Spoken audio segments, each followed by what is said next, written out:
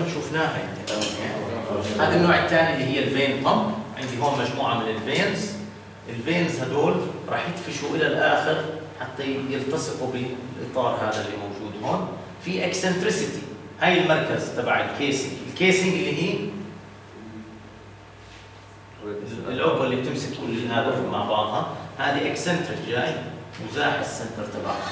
وال eccentricity هي اللي بتخلي إنه يصير في عندي flow فلما يصير في عندي دوران بهذا الاتجاه عم نحشر كمية معينة من ال fluid هون. وكميه معينة من ال fluid هاي بتتحرك. هي هاي هون بتتحرك معي هون بعدين بنطلعها.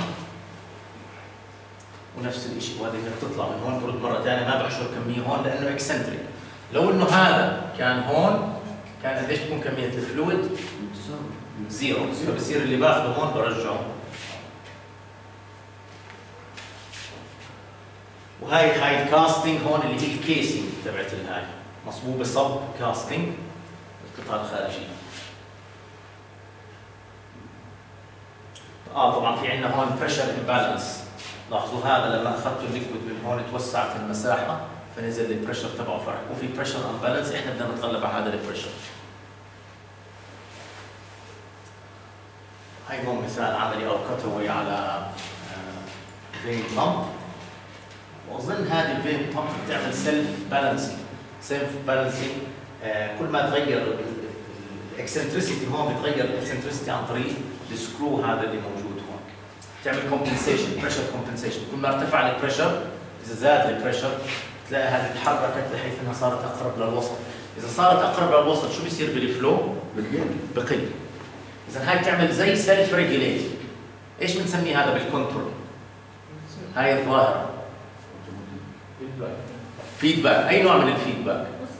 لا negative negative feedback negative feedback لأنه هو بحس كل ما حس إنه ال pressure زاد بروح بخفف ال flow عشان يخفف ال pressure فبيعمل regulation لل pressure ما بتخلي ال pressure تزيد عن حد معين بتضلها محافظه على ال pressure below limit معين.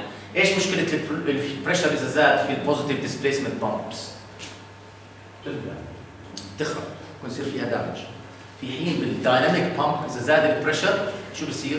بخف ال flow ما بخرب ال pump بال positive displacement pump إذا زاد ال pressure عن حد معين إذا زاد ال pressure حد معين ممكن أعمل damage لل pump فهاي بتعمل نوع من ال self regulation الفكرة تبعتها إنه كل ما حركتها أنا هيك أو هيك بتبعد عن ال axis إذا بعدت عن الاكسس صارت more eccentric إذا زادت صارت more eccentric شو بصير بال flow بزيد. لكن هون معمولة بحيث انها تعمل نوع من ال negative feedback إذا زاد ال pressure زاد ال pressure بخلي هاي بتأثر على الزنبرك وبتصير هذه more central لما تصير more central بتعمل بنزل ال pressure وبنزل ال flow فبتعمل نوع من ال self regulation بتحمي نفسها. ما بتحتاج pressure relief valve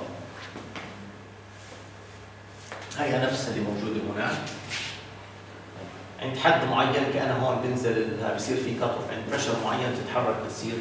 هي هذا الزنبرك عم بدفش هاي. لاحظين؟ شايفين الفراغ هذا اللي هون؟ بس هذا الزنبرك إذا تحرك بخلي هذا يقترب للمركز. فبتصير الفراغات اللي هون مساوية للفراغات اللي هون. فبصير ال flow بنزل ال flow لحد ما وصل في النهاية zero. هاي كمان نوع ثاني balanced vane pump يعني variations على الفكرة الأصلية. تسكر فيها.